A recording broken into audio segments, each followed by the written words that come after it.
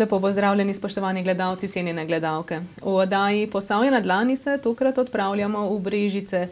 Politični, gospodarski in družbeni utrip v občini nam bo predstavil današnji gost, župan občine Brežice Ivan Molan. Lepo pozdravljeni in dobrodošli. Lep pozdrav tudi vam in seveda vsem gledalkam in pa gledalcem.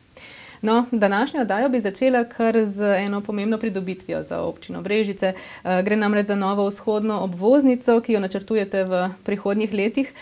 z ministrom Gašperšičem ste podpisali dokument, s katerim sta se obe strani zavezali, da čim prej pristopite k izgradnji te obvoznice. ampak mogoče za začetek, za kakšen projekt gre? Ja, občina Brežice že dolgo, let načrtuje predvsem še eno dodatno premostitev na Savi. Dejstvo je, da že ko smo podpisovali, predvsem koncesijsko pogodbo, se je razmišljalo o tem, da bi bil še en dodaten most, kajti vemo, da ves promet sloni, praktično resen promet, sloni na betonskem mostu, ki ga imamo praktično pri Budiču.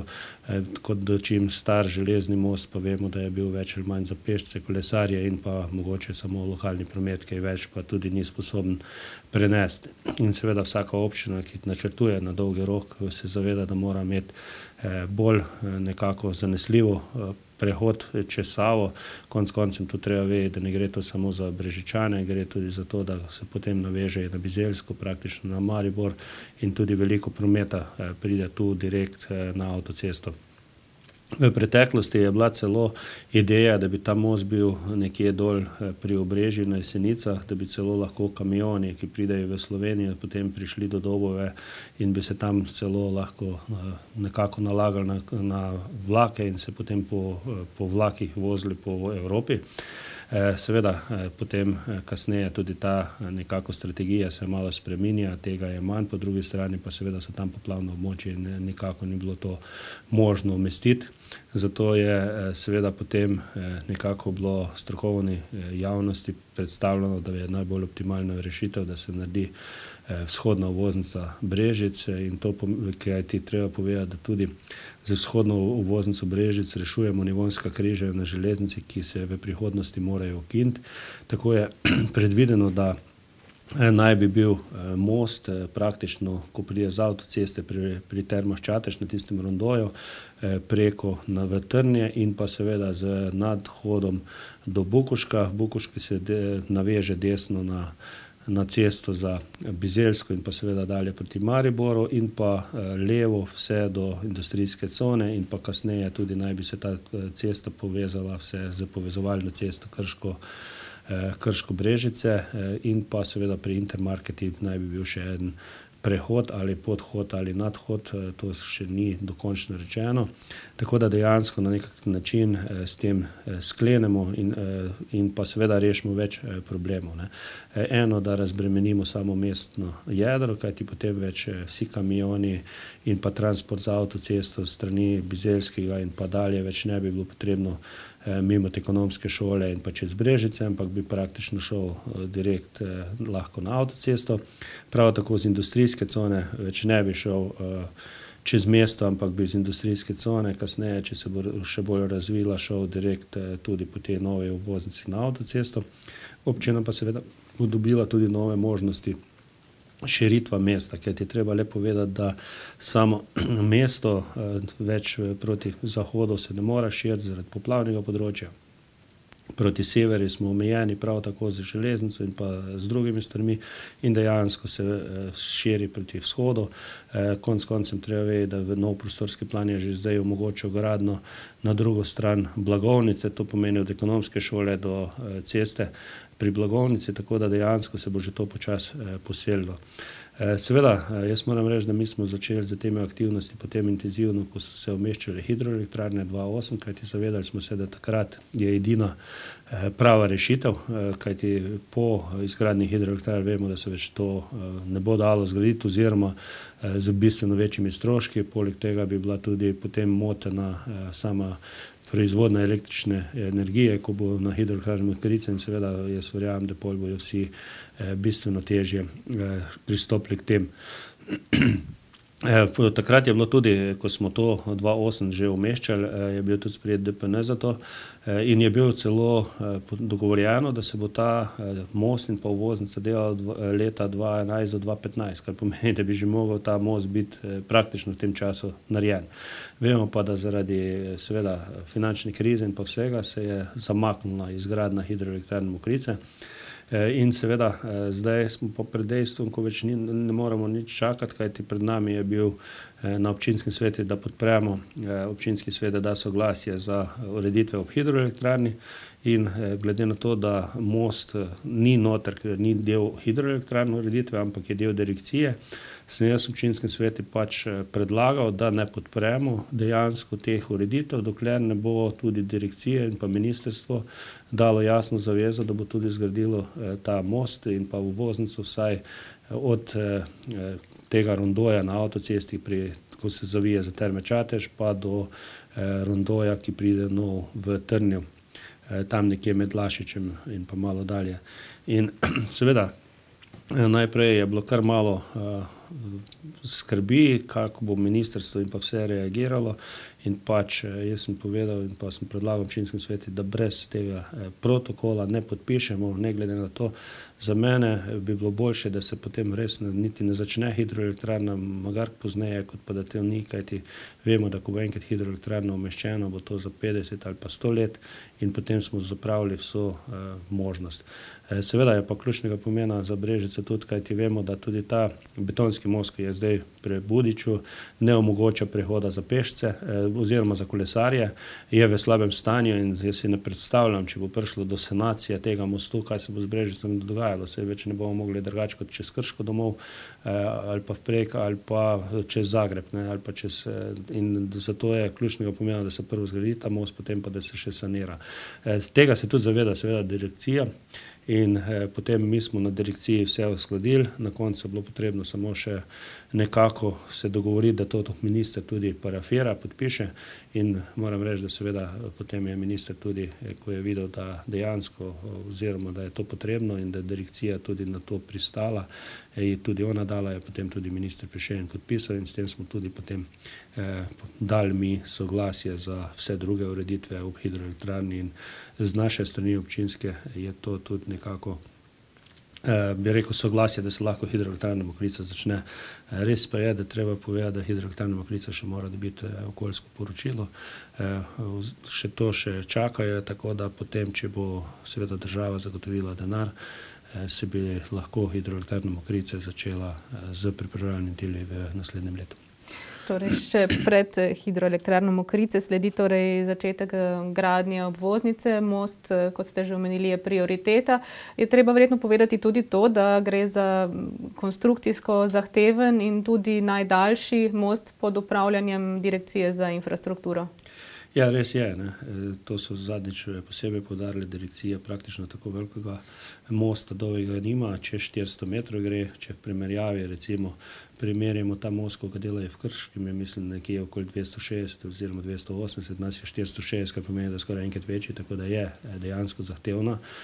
Tudi finančno, treba pa povedati, no, marsikateri ne vejo, tu ne bo, bo tudi delež občine, takrat, ko smo protokol dva osem podpisali, je bilo dogovorjeno nekje približno petinsedemdeset, petindvajset procentov, tako da tudi občina bo morala približno petindvajset procentov financirati v prihodnosti, tako da nas tudi tu čaka naš vložek. Predvsem vložek kolesarske steze in pa pločnika, kajti dejansko mi želimo, da se tam na tem mostu tudi zagotovi za kolesarje, še posebej, kajti tu bo najbližje potem možnost priti v Terme Čatež za kolesarje prek na to štajersko stran, ko mi rečemo.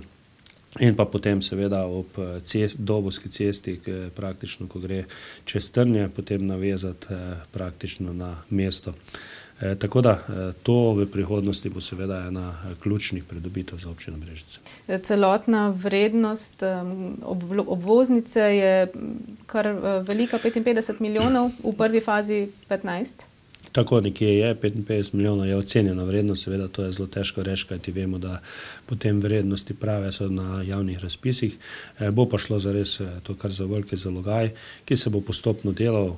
Zdaj prva faza naj bi bila gotova do leta 2022, praktično do končanja oziroma začetka zagona hidroelektrarne Mokrice. Ja, omenili ste že, da je um, začetek uh, gradnje mostu povezan tudi z gradnjo hidroelektrarne Mokrice, tudi soglasje občinskega sveta je bilo uh, s tem pogojeno. Um, hidroelektrarna Mokrice je zadnja v seriji spodnje savskih hidroelektrarn, ampak za občino Brežice je še posebej pomembna, predvsem zaradi zagotavljanja poplavne varnosti. Ja, res je. E, s tem praktično naj bi bila občina poplavno zavarovana, čeprav e, žal ne čisto, kajti dejstvo zaradi problema e, meje z Hrvaško ne bo dokončno rešena poplavna varnost reka Sotle. Tako da Sava bo dejansko nekako zaključena, s tem bomo imeli dokončno poplavno varnost zagotovljeno na Mihalovcih, Ločah. Tudi za terme Čatež naj bi bilo Eh, s tem rešeno, kajti vemo, termo Čatež prije do poplav zaradi podtalnice in seveda z izgradno hidroelektrarne se bo ta podtalnica tudi nekako zajezila z posebno eh, membrano na hidroelektrarno, tako da več naj ne bi bilo eh, problema podtalnice v, v termo Čatež, kar se tiče poplav. In pa še ključnega pomena za nas je, da bo z poglobitvijo Save se tudi znižala eh, poplavna voda v eh, Krški vasi skoraj za meter in pol, kar pomeni, da bo lahko Krška vas imela tudi nižje eh, nasipe. Seveda za nas je tudi zelo pomembno, da se bo uredila sočasno ob hidroelektrarni Mokrice tudi nekako struga reke Krke. Eh, ob reki Krki eh, naj bi občina pridobila, eh, bila končno tudi potem zgrajena večnamenska pot, ki se bo lahko uporabljala tudi za kolesarje in pa pešce. Predvsem gre za to pot, ki je zelo problematična od Budiča do Grič, recimo tega rekreacijskega centra. Vemo, da tam ob sami strugi Krke, ker je tudi v naturi, bo to zelo težko in pa drago urediti samo za sebe. V sklopu vsega tega pa se bo to uredilo, tako da jaz verjamem, da s tem bomo tudi imeli bistveno možnosti, eh, potem, kar se kolesarski povezav tiče, saj bomo lahko prišli eh, praktično iz Čateža eh, proti Krški vasi, eh, potem gor eh, kot čez novi eh, most eh, do Brežic, potem še čez stari most bo to bilo za kolesarje in pa pešce, tako da se bo tudi kolesarsko to omrežje začelo okoli Brežic razvijati. Seveda za nas je to Zelo pomembno, kajti vemo, da mi sklonimo na turizem, turizem brez kolesarjenja več ni. E, prav tako pa treba vedeti, da z izgradnjo hidroelektrarn se razmišlja, da bi bilo ob hidroelektrarni tudi skozi kolesarske steze, kar pomeni, da ljudje, ko bojo prišli, bojo lahko prekolesarili praktično vse do Sevnice ali pa še dalje in jaz mislim, da to bo v posavi kar ena velika e, pridobitev. Eh, del tega se pravzaprav že zdaj ponuja. Tudi hidroelektrarna Brežica se zaključuje in tudi tukaj se ponujajo um, številne možnosti za razvoj turizma, za razvoj vodnega turizma, tudi za rekreacijo. Kako gledate v občini? Imate kakšno vizijo na tem področju? No, kar se občine tiče na eh, turizmu, sigurno imamo vizijo, delamo tudi strategijo in definitivno to je eh, pri nas še vedno eh, ključnega pomena. Seveda treba vedeti, da občina vidi predvsem veliko priložnost razvoja turizma dodatnega prav na jezeru reke Save, ne, praktično že pri hidroelektrarni Brežice, kjer bo to eno največjih jezer v Sloveniji v prihodnosti. Tu seveda vidimo velike možnosti najprej na samem jezeru, kjer je možnost odveslanja. Mi razmišljamo tudi, da bo veslaška e, steza, na kateri na, na mirnih vodah, e, praktično, ki bo konkurenčna bledo ali pa katerim drugim. Poleg tega seveda pa dolgoročno še razmišljamo tudi o tem, da bi imeli še poleg kajkaški center, Eh, upam, mi dokumentacijo bomo prepravili do gradbenega dovoljenja, pa bomo pa videli, če bomo nam uspelo pridobiti evropska sredstva za to. Vkolikor pa ne, bomo pa poskušali iskati kakega partnerja, magar ali javno, zasebno, Definitivno, jaz mislim, da je to za Brežice izjemnega pomena, samo za Brežice, tudi širše za Slovenijo, posavje, kajti takšnega centra v tem kraju ni in če bomo to enkrat razvili v prihodnosti, lahko rečem, da bo kar precej seveda to pomembno. Res pa je, da pač vsi ti plani, ki smo jih imeli, grejo bistveno bolj počasi, kot smo predvideli, predvsem tudi zaradi tega, kajti občinam so se bistveno zmanjšala sredstva. Treba le povedati, da mi smo v letu dva trinajst imeli praktično za sedem milijonov večje prihodke, predvsem na račun države in pa evropskih sredstev, ki smo jih lahko pridobivali, zdaj jih ni. In seveda tudi investicije so se nam bistveno zmanjšale, občina Brežice je imela za primerjavo v letu dva trinajst skoraj dvanajst pa pol milijonov evrov investicij, v lanskem letu samo še sedem pa pol milijonov, kar pomeni, da seveda bistveno manj denarja za občino ostaja, zato bo občina morala seveda same investicije, bi rekel, spremeniti načrtovano dinamiko, definitivno pa jaz mislim, da ključni cilji, ki smo si jih pa zastavili, pa so dobro nastavljeni in treba samo iti naprej. Tukaj se seveda pojavljajo tudi še mogoče nenačrtovani stroški, en primer tega recimo je most čez Savo, ta železni most čez Savo, ki je nekako tudi padel notri. Ja, mi smo planirali sicer most čez Savo obnoviti in smo planirali, da ga bomo prebarvali in pa vse ostalo, kar seveda je bilo nekako v planu, sigurno pa nismo pričakovali, da bo most tako v slabem stanju, tudi statičnem, ki se posebne analize pokazale, in seveda zdaj je treba vedeti, da bo ta most stal vsaj trikrat toliko, kot smo mi v preteklosti planirali.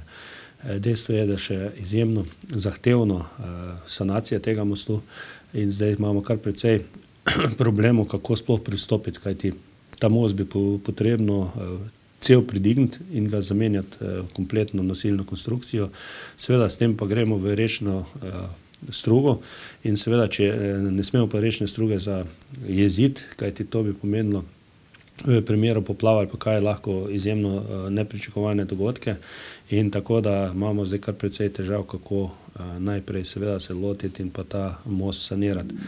Tako da verjetno sama cena mosta bo celo dražja, kot da ga bi novega naredili, oziroma enaka, kot da bi novega naredili, vendar definitivno seveda, če bi pa hoteli novega narediti, bi morali pa odstranjevati in pa bi bili še dodatni stroški rušenja, po drugi strani pa seveda vemo, da most sto deset let star je tudi tehnični spomenik in ne moremo si privoščiti, da ga ne bi obnovili.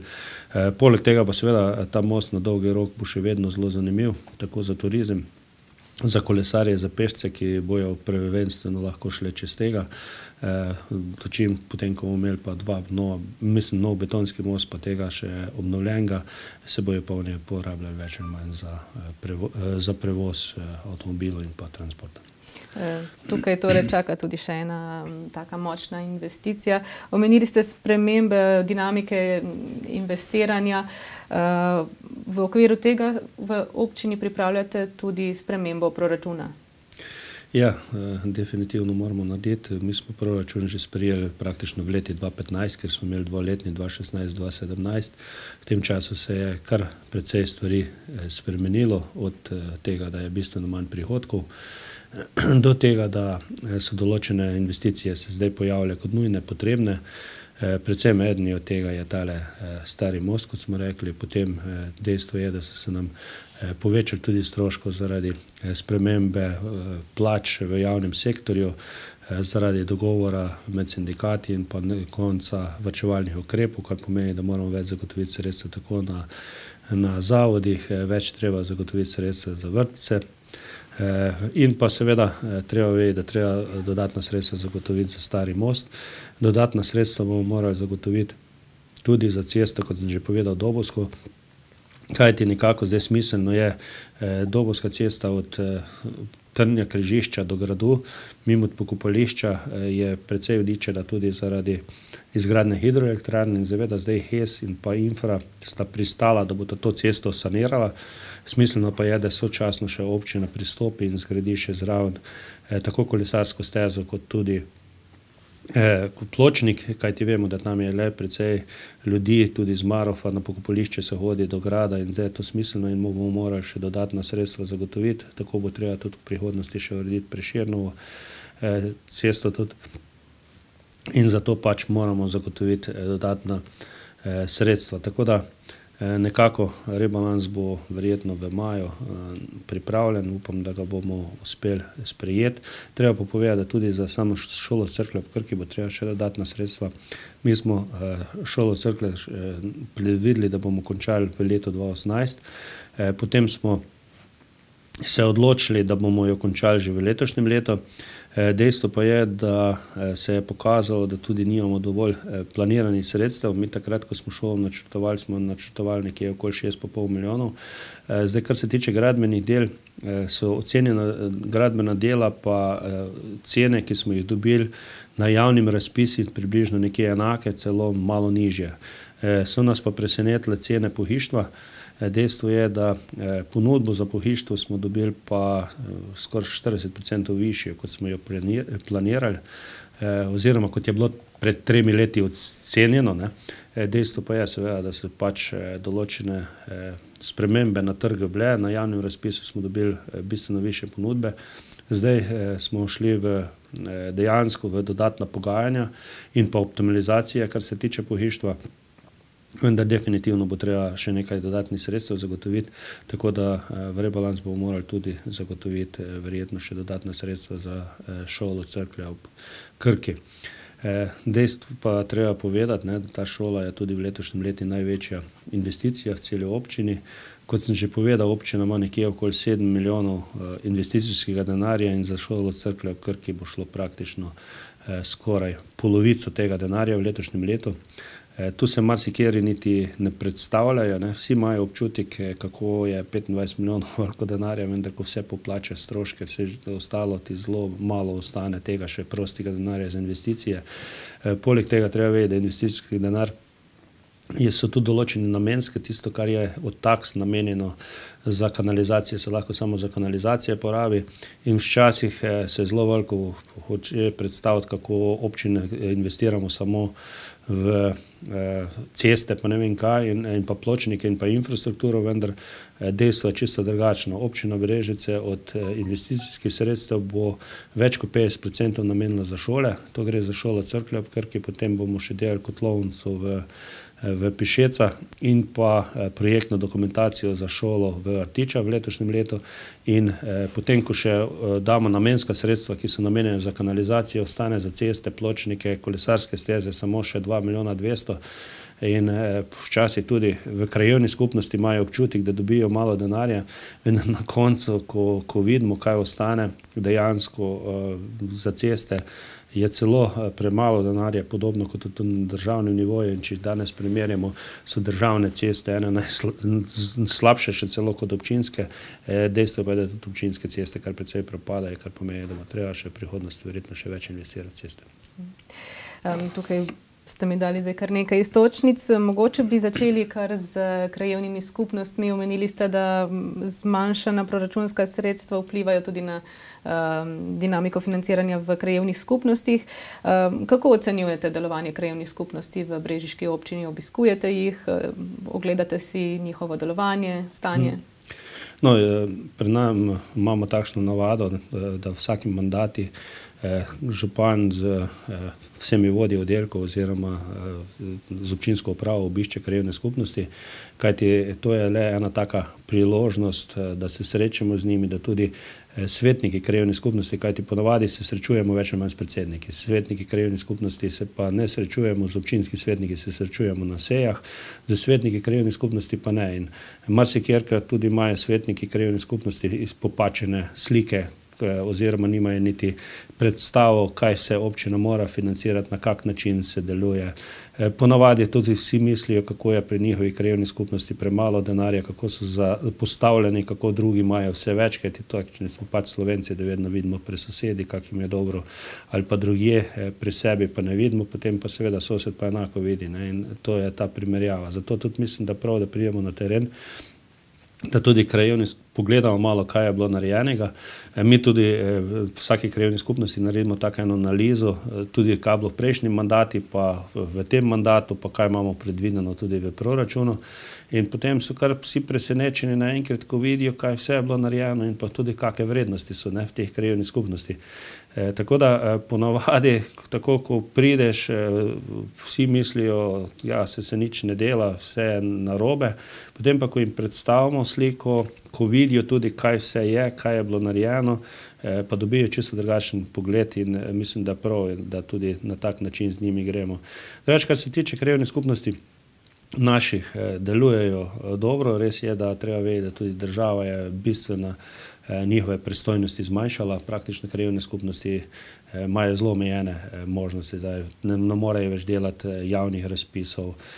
Poleg tega seveda premoženja več ne morejo imeti, to naj bi bilo vse občinsko premoženje.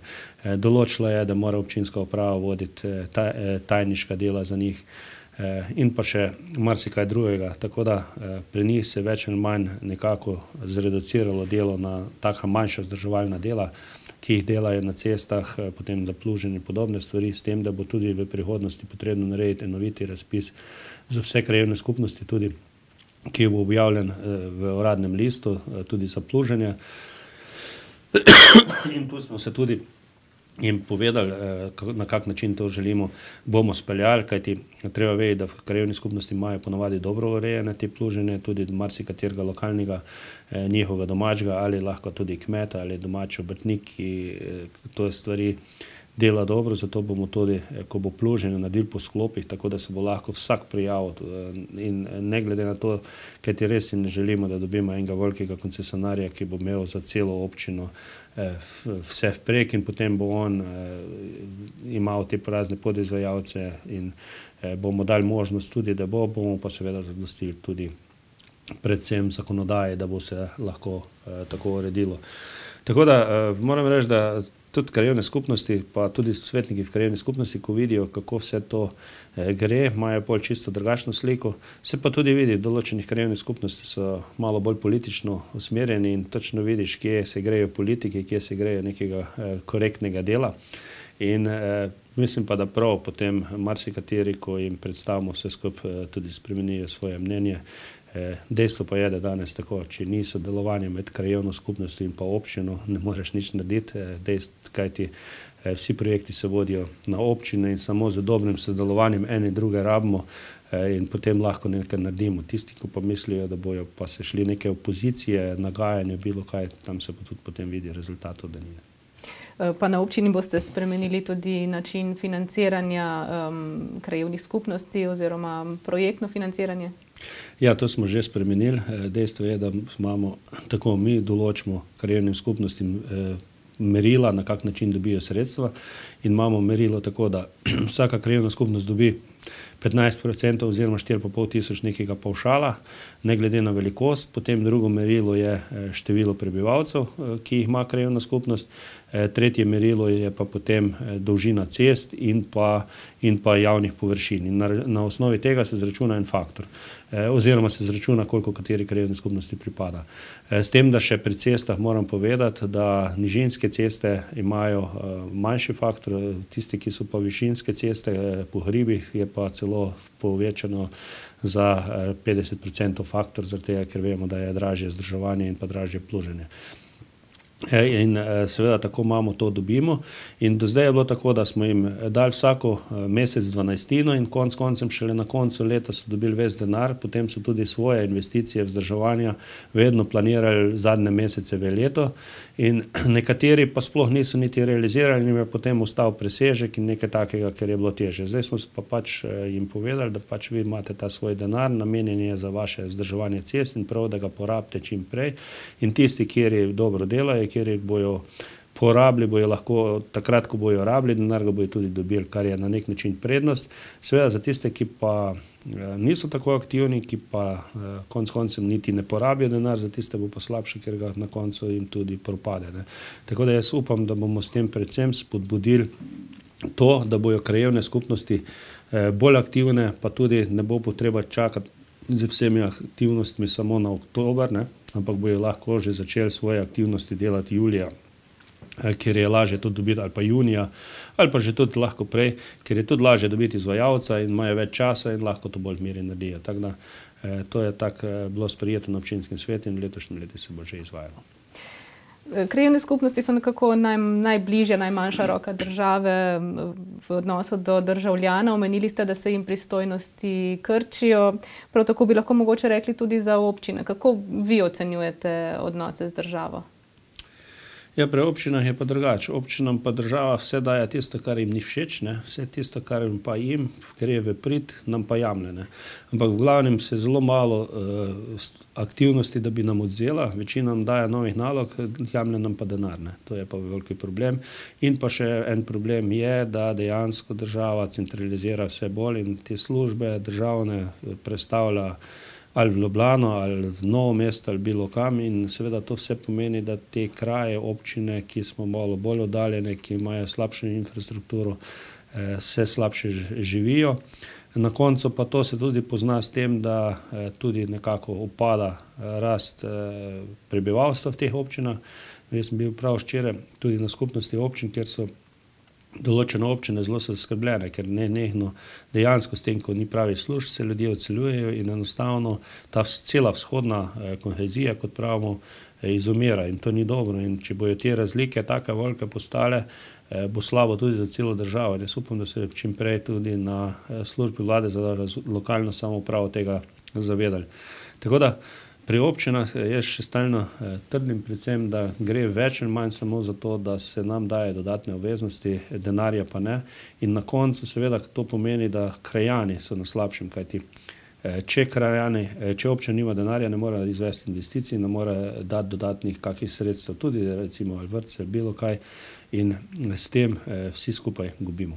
Ravno tu se tudi poznajo spremembe v nalogah občine, ki vemo, da daje plače javnim uslužbencem.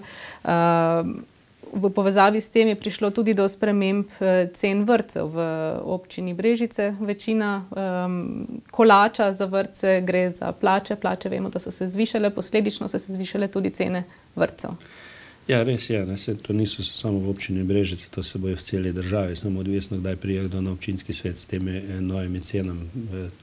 Dejstvo pa je seveda res takšno. Treba vedeti, da cene vrtcev so že kar precej let vedno zelo pereča tema. To je tudi izjemno dober poligon za politizacijo, za manipulacijo z ljudmi, kajti vemo vsi, na otrocih zelo veliko delamo, podobno kot v zdravstvu, ne, tam tudi vedno lahko manipuliramo in seveda vsi pa vemo, da bi dali vse za to, da imamo urejeno zdravstvo pa vrtce, ne.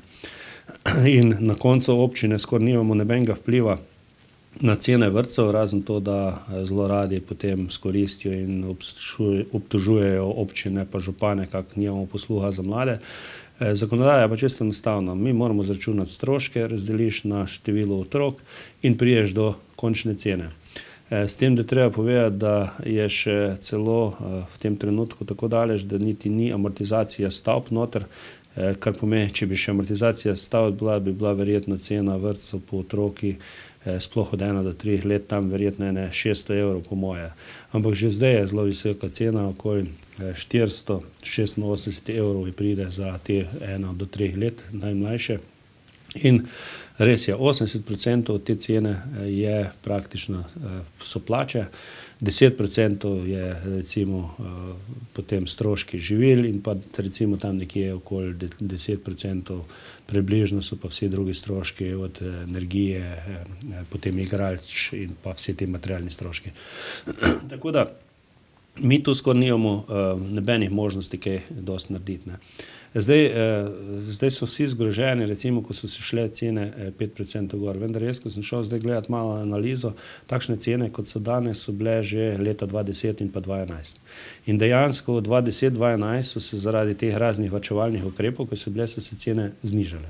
Seveda zdaj pa treba vedeti, da je pač vlada in pa država podpisala s sindikati, da je konec varčevalnih ukrepov in enostavno stroški so zrasli, ne. Zdaj zadnjič je bilo tudi eno tako razburjenje, ne, da pač pomočnice niso dobile višjih plač in da zdaj za kako lahko so zdaj in pa kaj mi govorimo o višjih stroških. Ampak dejstvo je, stroški plač so višji, odmrznjena so napredovanja, praktično so tudi varčevalni ukrepi, kar se tiče regresov in pa vseh ostalih, in dejansko so se eh, stroški eh, pač povečali, približno celotni stroški eh, za 5%. Tudi vemo, da se dejansko Eh, s tem, ko se starajo eh, vzgojiteljce, pride tudi več eh, na delovno dobo in vse ostalo.